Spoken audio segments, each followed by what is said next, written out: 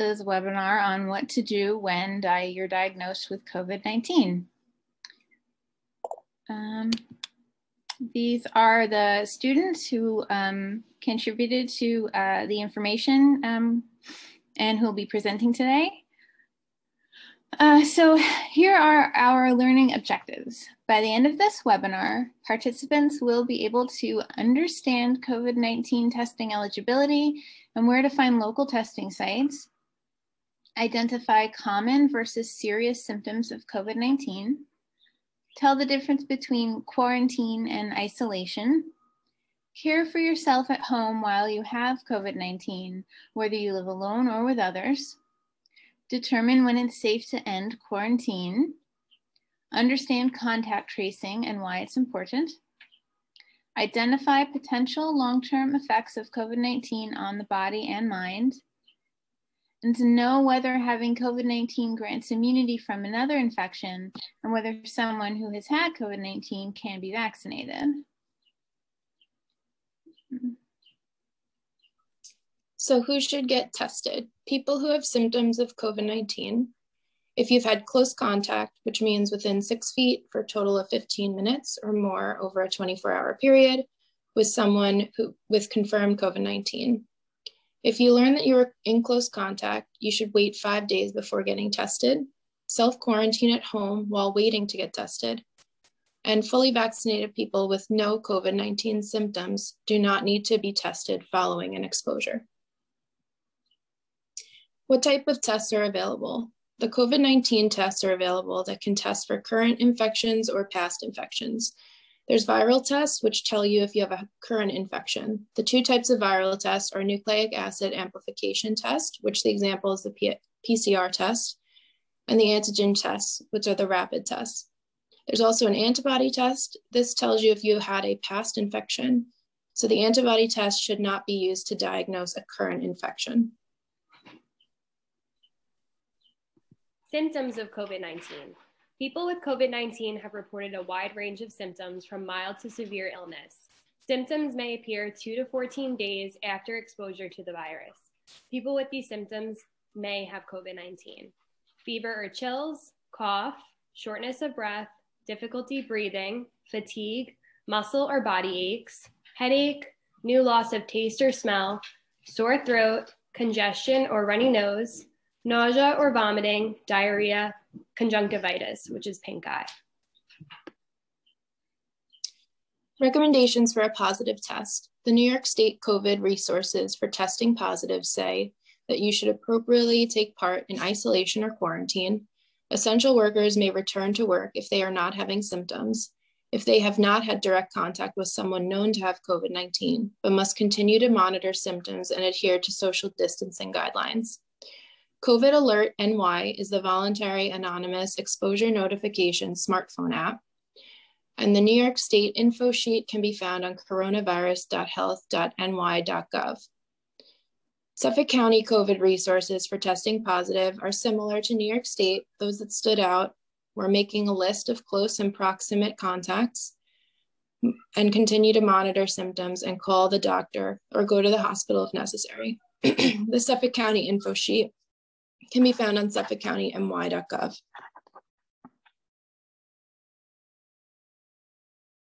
Who is at increased risk of severe illness?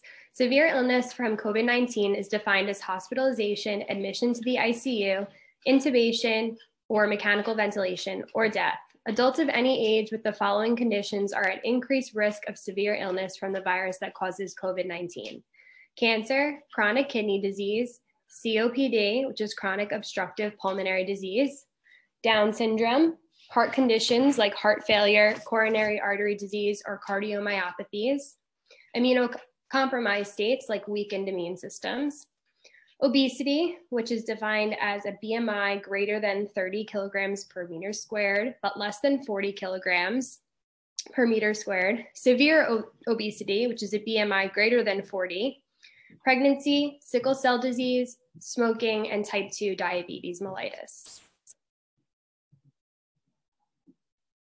When to seek emergency medical attention. If someone is showing any of these signs, seek emergency medical care immediately. trouble breathing, persistent pain or pressure in the chest, new confusion, inability to wake or stay awake, pale, gray, or blue colored skin, lips, or nail beds, depending on their skin tone. Note this list does not include all possible emergency symptoms. Please call your medical provider for any other symptoms that are severe or concerning to you. Call 911 or call your local emergency facility. Notify the operator that you are seeking care for someone who has or is suspected of having COVID 19. So we just wanted to talk for a moment about the difference between quarantine and isolation because there is a slight difference. Um, so to quarantine technically means to keep someone who might have been exposed to the virus away from others, while isolation is defined as keeping someone who is um, infected with the virus away from others, even within the home. Um, so we're going to talk about effective quarantining um, and steps to stay safe.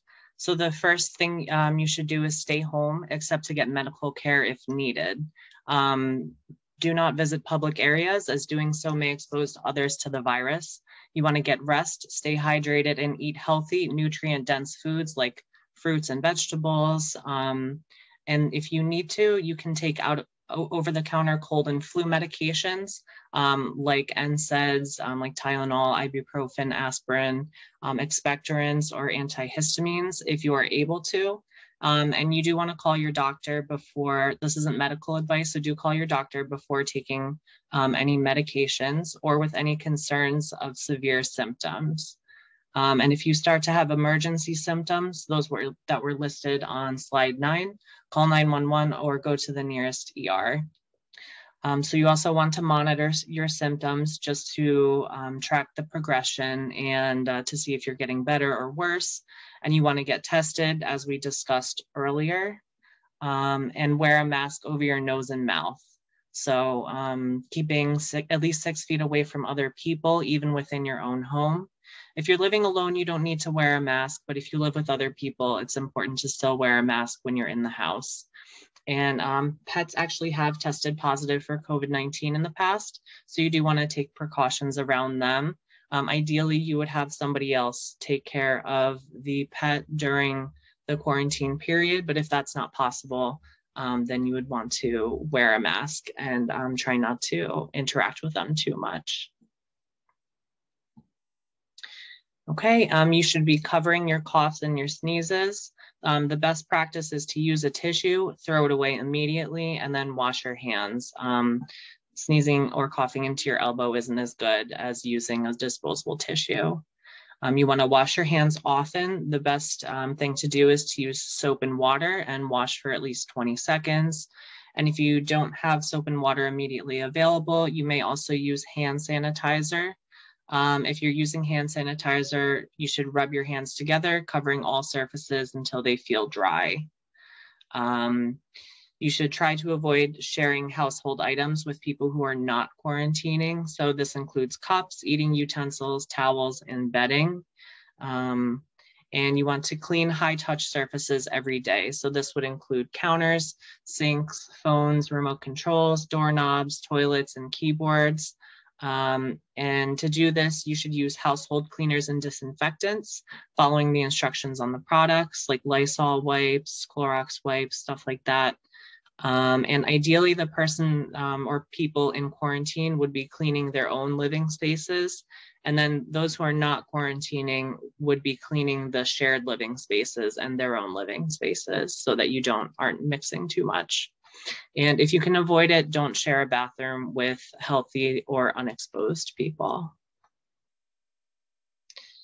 Um, just a couple of resources um, if you, you know, have uh, don't have someone to shop for you. Um, there are, a lot of grocery delivery services that have popped up recently.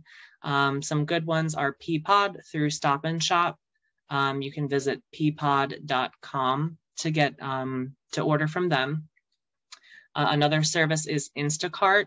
They have lots of grocery stores, including Aldi, CVS, ShopRite, Family Dollar, and a lot more. Um, and they're at instacart.com. They also have a mobile phone app.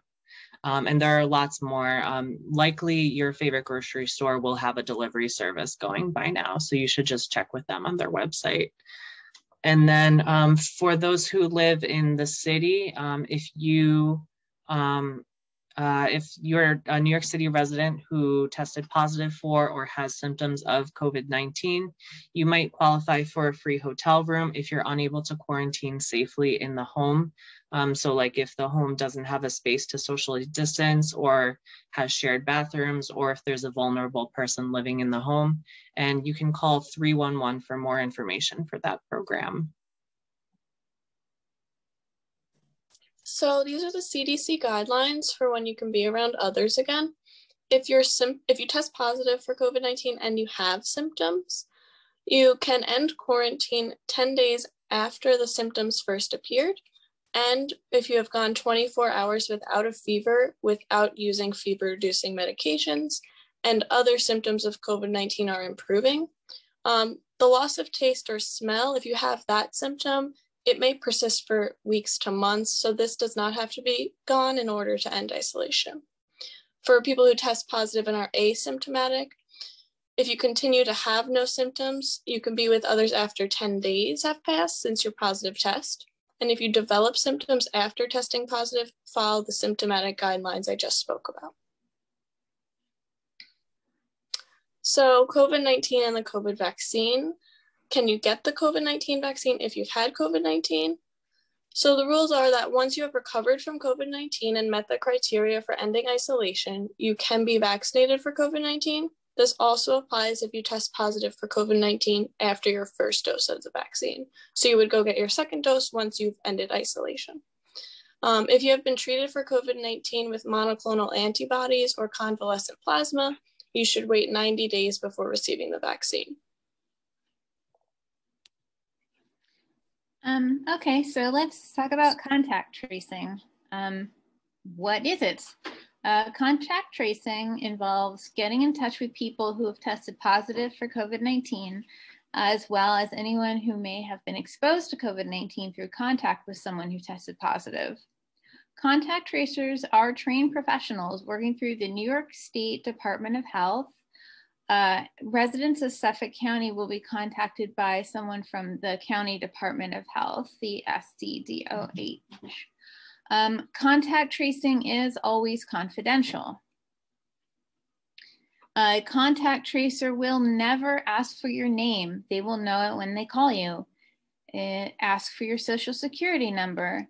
Ask for any private financial information identify the person who listed you as a close contact or vice versa, ask for credit card information, or ask to take control of or download software to your phone, tablet, or computer. Uh, during a call, a contact tracer will ask how you're feeling. Ask if you need resources to help you stay healthy, such as groceries, supplies, childcare, and medical care, or supplies. Um, explain how long you need to stay inside and away from other people, and offer housing resources if you cannot do so safely at home. Ask questions to figure out how you may have been infected if you have tested positive. And ask for names and contact information of everyone you had close contact with recently if you have tested positive.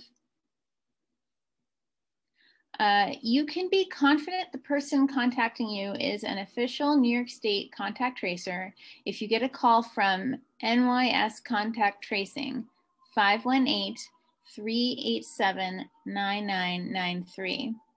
It is vitally important to answer this call to help stop the spread of COVID 19.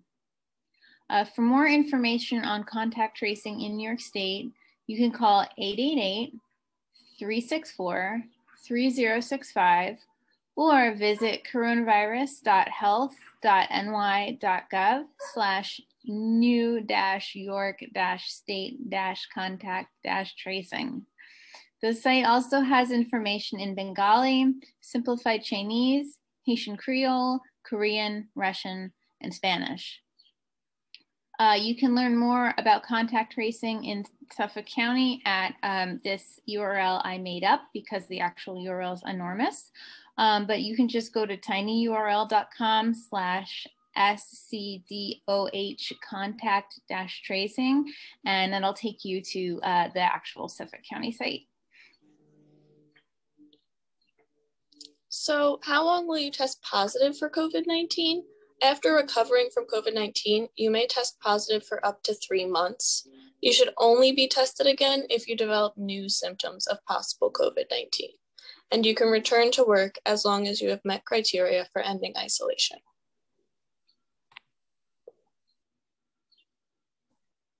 So, while most persons um, recover and return to normal health, um, some patients can have symptoms that can last for weeks or even months after recovery from acute illness. Multi year studies are underway to further investigate. The most common long term symptoms are shortness of breath, uh, fatigue, cough, heart palpitations, chest pain, tightness in chest, joint and muscle pain, headaches, dizziness, forgetfulness, difficulty concentrating, nausea and diarrhea, or depression and or anxiety. According to Luffickson, adults and children appeared to have the same long-term results. The study was limited by size and not able to examine children through other tests to rule out uh, different diagnoses. Similarly, adults may have long-term symptoms that could be exacerbated by comorbid, that is, um, diseases they had before um, they were not aware of the infection. Next slide, please. Other less common symptoms are heart inflammation, lung function abnormalities, acute kidney, kidney disease, rashes, hair loss, loss of smell and taste, insomnia. Um, these symptoms usually occur in people who had severe um, comorbid disorders, that is, disorders they had prior to um, COVID, like diabetes, um, heart disease, uh, severe obesity, or something like that. They would normally not occur in people who didn't have um, anything going on before COVID. Um, so for the most part, I wouldn't worry about it, about getting these unless you had severe things or you were at risk um, for infection like with cancer or immunosuppressing uh, disorders the long term significance of these effects are not yet known, but the CDC will continue to, act, to actively investigate and provide updates as new data emerge, which can inform COVID 19 clinical care as well as the public health response to COVID 19. Next, yeah. It is possible to get COVID another time while with older people being the most susceptible. Um, so in the studies they've run so far, um, younger people um, have less than like 30% chance, while older people had like 47 or more percent of a chance of getting it again. Uh, the severity of symptoms varies by the individual depending on how severe the first infection was. So, if you only had a mild infection, there's a chance you could, if you were to get reinfected, a more severe um, form of illness. It also depends on the variant of uh, the COVID uh, brand, I guess, uh, changes in overall health. So if you become um, immunosuppressed, where you could, re, you know, get it again, like if you were to have cancer, if you have lupus or any other immune disease disorder, um, vaccination should help minimize the effects of infections regardless of the strain. Uh, booster shots can help reduce the chances of severe reinfections, but may not prevent them. Some have suggested that these might not be reinfections at all, but ongoing immune responses. However, more research is needed to support this theory. Next.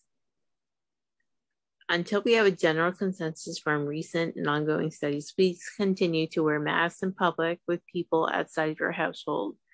So you still have a chance of getting reinfected, and it's important to protect yourself or protect others. You should also social distance by six feet. avoid crowds or areas with little room to social distance, and wash your hands. That's one of the biggest things. Wash your hands and, you know, maintain clean surfaces around yourself so that there's no chance of anybody, you know, getting affected accidentally, you know, by like, let's say, you know, if they sneezed on something and, you know, you didn't clean it up and, you know, those particles ended up on the surface, you should clean the areas around you. All right, next. Uh, as of March 27th, 28th, there have been 3 million uh, or about so cases of COVID administered. A total of 1,508 positive COVID case, weekend cases. Um, about 20.4% of the total um, Suffolk County um, residents have at least had one vaccine dose. There were 57 people hospitalized during the weekend. There were 48 discharged and a total of three deaths. Continue. All right, who's next? Well, it's me. um, right. So the here are some uh, testing resources in Suffolk County. Um, there is um, an extremely uh, long URL, but if you just go to suffolkcountyny.gov, you can search for, you know, COVID testing sites. And I think there's also just a link right at the top of that site. Um, there's hotspot COVID-19 testing at uh, sunysuffolk.edu slash coronavirus slash COVID-19 uh, dash testing dash site dot JSP. Um, there's also New York State's Find a Test site near you at coronavirus.health.ny.gov um, slash find dash test dash site dash near dash you. Uh, you can also uh, Google those terms, hotspot COVID-19 testing uh, Suffolk County or Google New York State, like find a test site. You, you will get these results. Uh, please call the testing site or your healthcare provider beforehand. If you go to a test site run by New York State, there is never a charge for your test. If you go to a test site operated by local governments, private companies, including pharmacies and medical practices, or not-for-profit organizations, check with the testing site and your insurer in advance to confirm you will not be responsible for any fees. Uh, New York State regularly adds testing sites for COVID-19.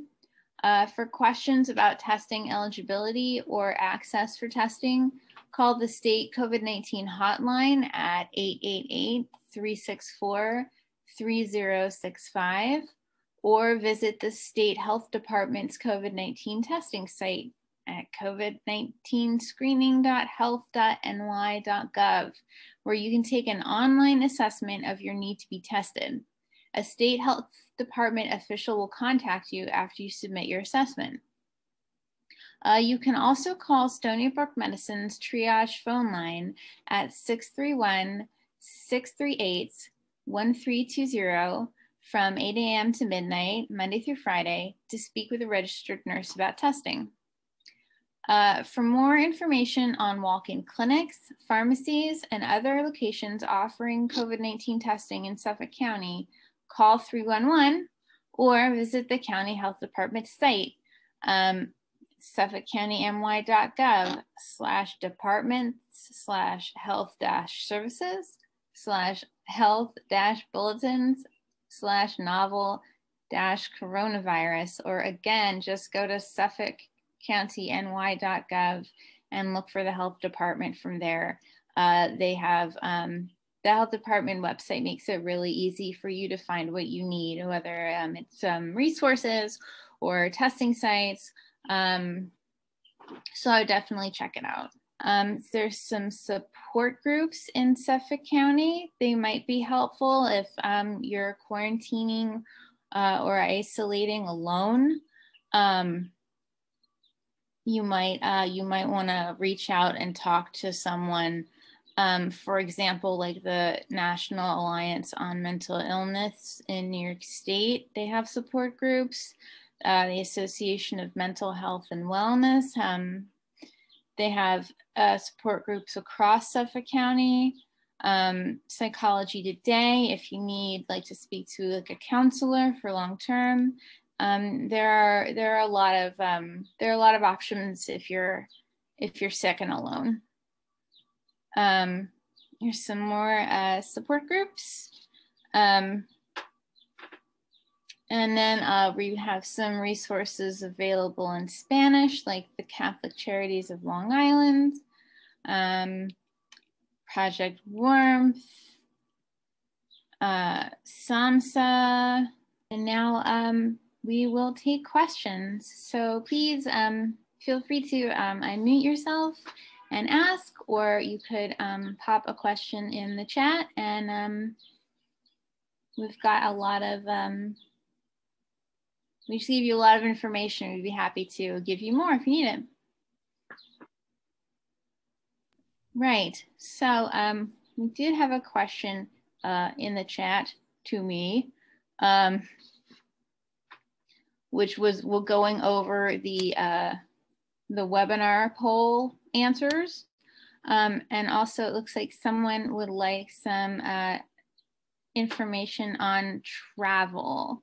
So if someone, I know um, like I, I can't actually get that because I am screen sharing, but if someone oh. else wants to pop that in the chat. So one of the um, professors uh, Professor Stobbe just wrote in the chat international travel requires 12 day quarantine, regardless of vaccine status, according to the New York State Department of Health. I believe on the CDC website, um, different countries are listed at different levels, and you can see the different requirements per country um, there. I don't know if you want to, if there's anything else you want to say, Professor Stobbe, about travel more besides your comment? Uh, domestic travel seems to be more relaxed right now, but the again, New York State Department of Health has made a determination that they still want this 10 day quarantine. You can minimize that if you test between days three and five on your return from international, but you will still need to quarantine a minimum of seven days and then again, that's for international travel. Different jobs seem to require different uh, options. It's a little bit odd that it's not standard across the board, but this is from the DOH. Yeah, I've sent a link in the CDC from the CDC website in the chat, and that outlines like the basic travel plans, but it might differ depending on the country you visit. So I would check with the specific country, but you need to get tested three to five days after traveling and stay home and self quarantine for seven days. Um, if you don't get tested, then you need to stay home for 10 days after travel. Um, and so, yeah, they had on this website, you can find all of the rules for the specific um, specific countries. I believe the CDC also has a site for if you're traveling between states and there's a travel finder you can put in your location whether it's a state or a country and it'll give you the different guidelines for each state. And then also always check with the airline that you're traveling with before before leaving for what they require because different airlines might have different requirements than like government requirements. And same with employers. Employers might have different requirements um, if you're essential worker for post travel testing and return to work requirements.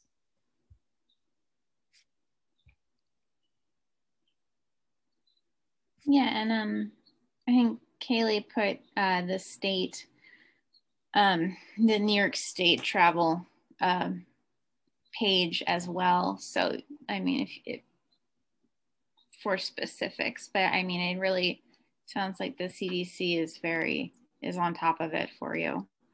Um, so yeah, I had a DM from another one of our esteemed faculty who wanted to uh, go over the results, um, or sorry, not the results, but the answers to uh, the, the webinar poll. Um, so I'd be happy to do that. Um, I, gosh, I hope I can remember. So number one, if you were in close contact with someone who tested positive for COVID-19, how long should you wait to get tested yourself? Um, and the answer is five days. Um, true or false, antibody or serology tests can be used to diagnose a current COVID-19 infection. Um, that is false. Those are for testing whether you have had COVID-19. Um, so two ways to keep yourself from possibly exposing others to COVID-19, quarantining and isolating. Which one do you do when you have tested positive and are experiencing symptoms? That is, um, oh gosh, it's isolating, right?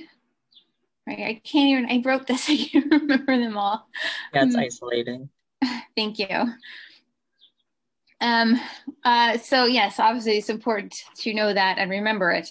Um, so, okay, um, which of the following is a sign that someone with COVID-19 needs emergency care?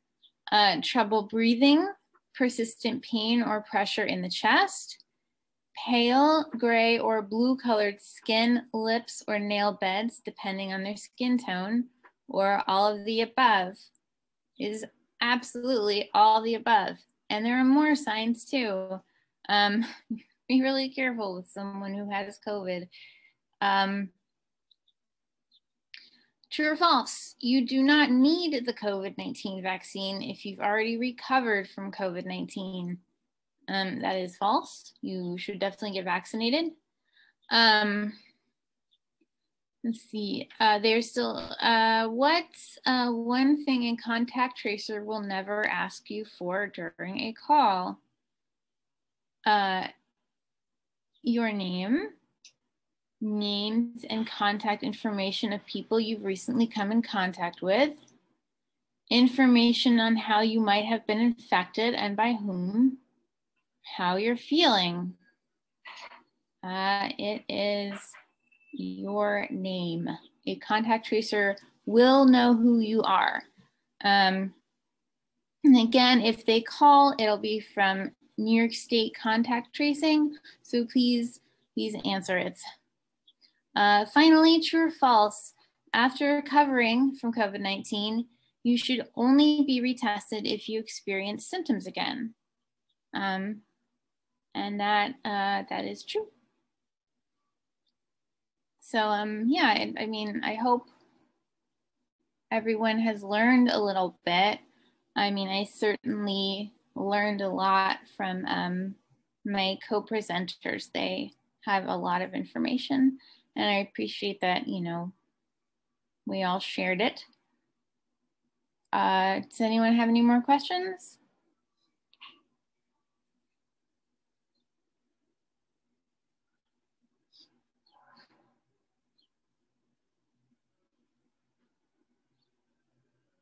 Um, okay, so I guess if no one has any more questions, then we can just let you just a little bit about the Healthy Libraries program. Um, so uh, Stony Brook Medicine's Healthy Libraries program, or HELP, is an interdisciplinary team of public health, nursing, social work, and library science students whose aim is to provide evidence-based health information, screening, and case management to a diverse community of patrons in the public library setting refer patrons to promote access to appropriate health and social services programs locally that will address their health and social support needs. And we offer one-on-one appointments for free.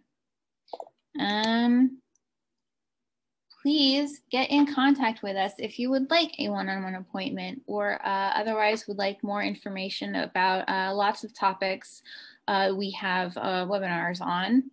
Um, we have a YouTube channel, we have a Facebook page, We have a website, which is publichealth.stonybrookmedicine.edu slash healthy underscore libraries underscore program. And our email is healthy underscore li libraries underscore program at stonybrookmedicine.edu. Um, you can also give us a call at 631 uh, 216 8220. Um, and if you hear my cat yodeling in the background, I apologize. She feels left out. Um, and I think that's uh, I think that's all we have. All right, yeah, so thank you everyone. Thank you to all the students for putting together the presentation and for the libraries for hosting us and all of, you know, library patrons for joining us. Again, as Mev said, feel free to contact us. Um, it's completely free if you have any questions or want any health resources or any information. And I guess if there's no more questions, that'll be it for today. Alrighty, take care everyone.